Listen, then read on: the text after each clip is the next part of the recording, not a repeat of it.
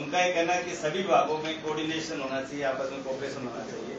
हम compartment type बात नहीं कर सकते। कि साहब क्योंकि ये काम तो मेरा ये काम किसका जनता को दिए एक काम।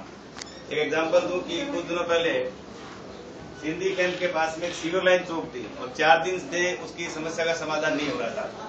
हमारे दो विंग है, एक निर्माण की विंग है और एक सफ़ाई की विंग है। तो सफ़ाई वाले कह रहे थे साहब, इसमें जो जो ढक्कन है इसका सीवर लाइन का, वो सड़क में दबा हुआ है। इसलिए इसको निर्माण वाले निकालेंगे। निर्माण वाले कह रहे साहब क्योंकि सफ़ाई का काम जो है, वो निर्माण का कहना था, सफ़ाई काम सीएसआई का है इसलिए वो इसके सफ़ाई करेगा। तो जब, चूँकि दोनों जब साथ भेजा तो समस्या का समाधान हो गया। इसलिए जो काम अगर अभी अपन बात की कर रहे थे या कोई नहर की बात